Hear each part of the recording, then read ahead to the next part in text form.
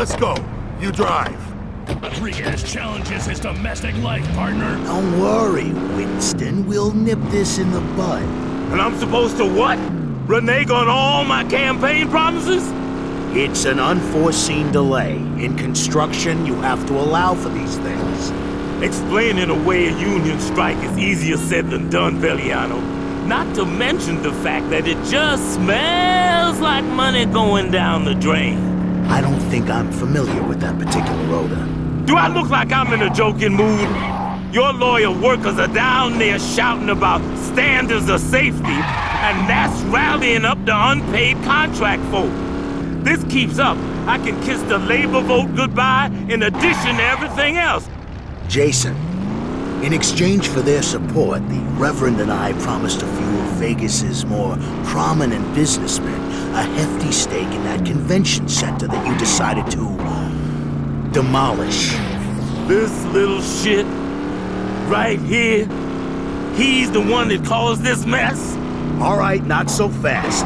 Benny and Jason will go down to the site and, uh, knock some sense into the workers. As for the union boss, let's make sure he's off my payroll for good.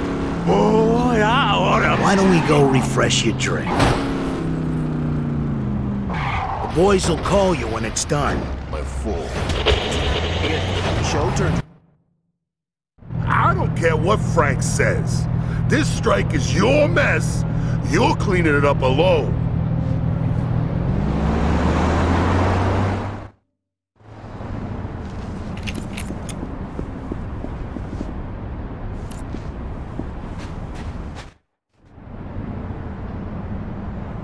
Oh, not this bastard again! Listen, guys, it wasn't personal. This asshole cost us three months of work.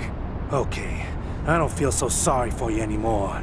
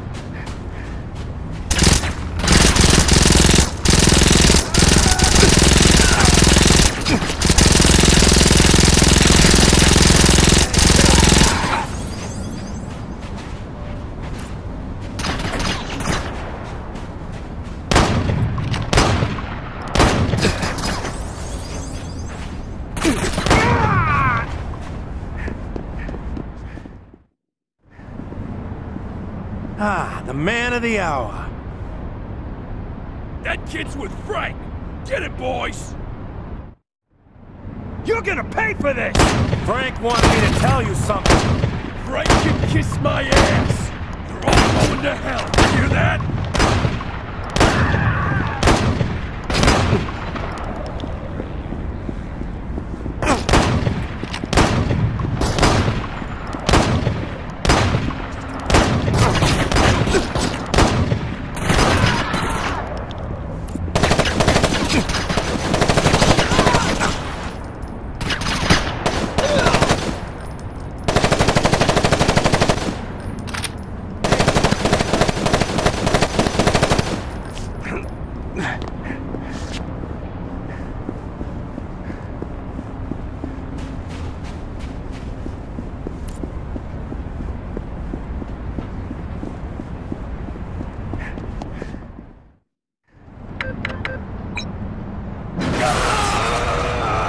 Might get back to work if you know what's good for you.